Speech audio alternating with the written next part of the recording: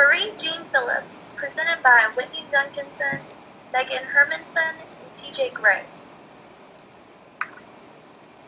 Marie Philip was born April 20th, 1953 in Worcester, Massachusetts. Both her mother and father were deaf. Marie was the firstborn child and they did not expect her to be deaf. Her parents both attended oral schools. Marie's mother was 18 years old when she met Marie's father, and she did not know any sign language. Her father knew how to sign because he communicated with deaf friends who used sign language. Around 11 months old, Marie was sleeping and her mother accidentally dropped a drawer of clothes. Marie did not wake up. She suddenly realized that something was wrong. She decided to test her hearing, so she used pot and an alarm clock. The mother saw that at times she would respond with her right ear, but nothing with her left ear. When her parents found out she was deaf, they sent her to Clark School for the Deaf, which was an oral school. When Marie was four and a half, they sent her to the school for some testing. She forgot that it was an oral school and began signing the word dead. The school rejected her because one, she signed, two, she could fingerspell, and three, she was underage. After being rejected from the Clark School for the Deaf, her parents decided to send her to the American School for the Deaf in West Hartford, Connecticut. After a week of being there, she came home talking and signing away. She was even correcting her parents. Her parents decided to keep her there and also send her deaf sisters as well. After graduating high school, Marie entered into Gallaudet University where she majored in psychology. While during her junior year, she decided to apply for an exchange program with Oberlin College.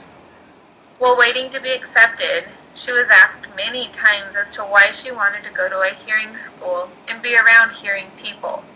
She said she wanted to see what the other side was like because all she knew was the deaf world. Marie was one of two students chosen that year for the exchange program. It was Marie's senior year when she returned to Gallaudet when she realized that psychology wasn't her passion, so she quit school at that time but later returned to finish her bachelor's degree. In 1984, Marie graduated from Northeastern University in linguistics and started teaching ASL at Northeastern University. However, her career at Northeastern didn't start there, it started much earlier.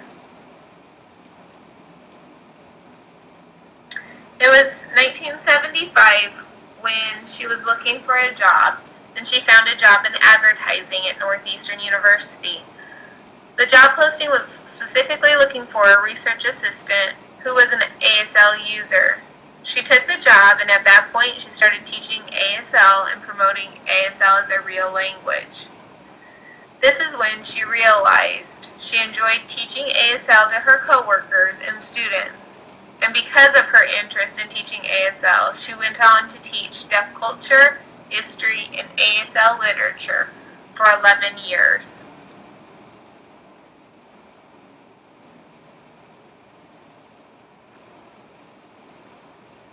In 1985, the Learning Center for Deaf Children in Framingham, Massachusetts was able to convince Marie Philip to begin a new career as Special Assistant to the Director for Implementation of Bilingual Bicultural Policies. This was in addition to her teaching position at Northeastern University. That same year, she was influential in establishing the Massachusetts Commission for the Deaf and Hard of Hearing. Marie accepted the full-time position of Bilingual Bicultural Coordinator in 1988 after two years of being the special assistant to the Director for Implementation of Bicultural Bilingual Policies. She also served as the Bilingual Bicultural Consultant to the Delaware School for the Deaf from 1994 to 1997. During this time, she was also pursuing her master's degree in deaf education, leading to a PhD at Boston University. September 2, 1997, Marie Jean Philip died unexpectedly due to blood clots that lodged in her lungs. Marie Philip's untimely death was not the end of this pioneer's name or work. Northeastern University created the National Marie Jean Philip ASL Poetry, ASL Storytelling, and Deaf Art Competition in 1997. The primary goal of this competition is to create a fitting tribute to honor the memory of a tireless advocate of deaf children. Marie's death was an overwhelming loss to her family, to the Learning Center for the Deaf, and to the worldwide deaf community. The Learning Center couldn't think of a better way to honor this woman who loved children and education than to name their new elementary school the Marie Jean Philip Elementary School. The dedication ceremony was held on May 30, 2002. Governor Jane Swift shared remarks which emphasized Marie's leadership and the importance of both passion and education in pursuing our dreams. One of Marie Jean Philip's favorite proverbs go to the people, live among them, learn from them, love them.